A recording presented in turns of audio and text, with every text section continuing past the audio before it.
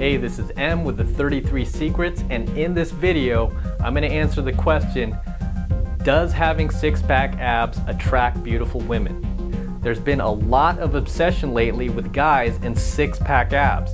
Everyone wants to know, will it help you attract more beautiful women? The shocking truth is, it will help you in the same way that being rich will help you meet more beautiful women, or being tall will help you meet more beautiful women, or being good looking will help you meet more beautiful women. Of course it'll help you. However, these things I just mentioned should only be used as tools for attracting beautiful women. They should never become the meat of your game.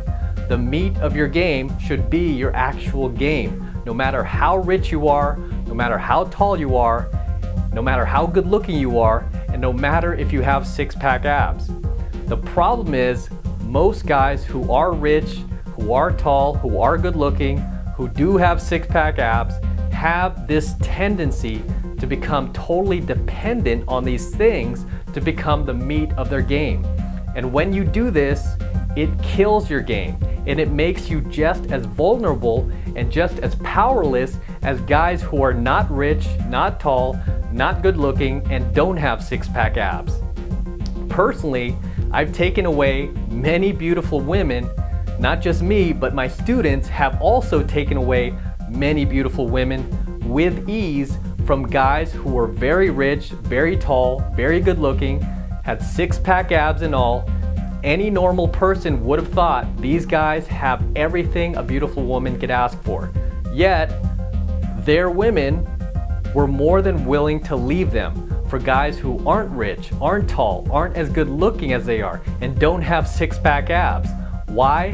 Because as I've said, these guys, they allow these things to become the meat of their game instead of limiting these things as mere tools for attracting beautiful women because that's all they should be. That's its sole function, to attract more beautiful women into your life. The fact that you're rich, tall, good looking, have six pack abs should never be used as your actual full time method of game. Because when you do, you will kill your game. You'll stop developing your game. It's like when you drive your car to the grocery store.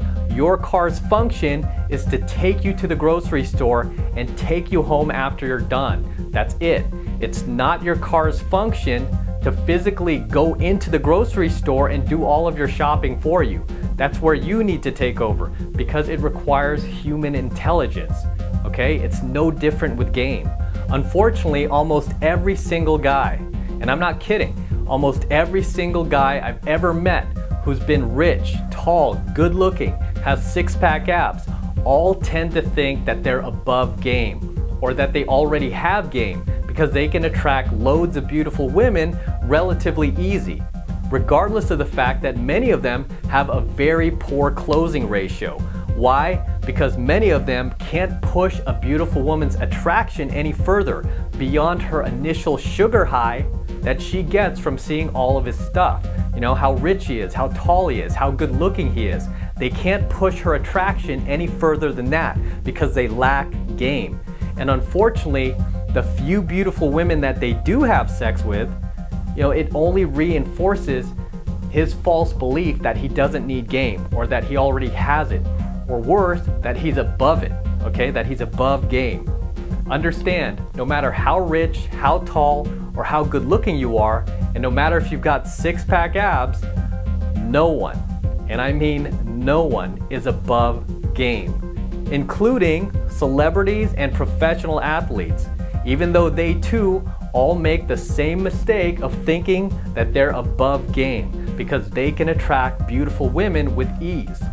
You know, it's usually not until after they end up in the tabloids or their name is, you know, out there in the news or they're in divorce court that you get to see for yourself how powerless they actually are without game. And if you don't believe me, just take a look at Mel Gibson, Kobe Bryant, Paul McCartney. I mean, I can go on and on. These are all very rich, very successful, very powerful men who all got taken out of the game by little hot girls half their age. One of them was even missing a leg and she was still able to take down a legendary Beatle. And you'll notice all of these men I just mentioned, and nearly every man you'll ever see in their position, whether it be money, looks, celebrity, fame, all make the same mistake of thinking that they're above game, that they don't need game, or that they already have game because they can attract beautiful women relatively easy with almost no effort. So they start buying into their own hype and they get tricked into thinking that again, they're above game because beautiful women are attracted to all their stuff. This is actually something I teach you about in the 33 Secrets to Dating Beautiful Women. I mean, I encourage you to become successful. I encourage you to get rich. I encourage you to use your height or your good looks to your full advantage if you happen to have these things because it will make it a thousand times easier to attract loads and loads of beautiful women into your life with very little effort. However, with that said, you should never, ever, ever rely on these things to take full control and become your full-time method of actual game. It's one of the biggest traps you can fall into because at the end of the day, you're still dealing with human interaction. You're still up against basic female psychology.